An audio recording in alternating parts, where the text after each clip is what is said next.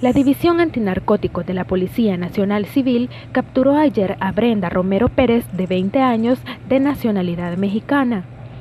La joven, quien fue interceptada en el interior del Aeropuerto Internacional de El Salvador, trató de sacar del país 18 porciones medianas de cocaína con destino final la ciudad de Frankfurt, Alemania. Ahorita, de acuerdo a lo que se ha podido observar, pues ella ya realizó un viaje anterior con, con destino a Europa por lo que pretendemos creer que no es primera vez que realiza este tipo de actividad.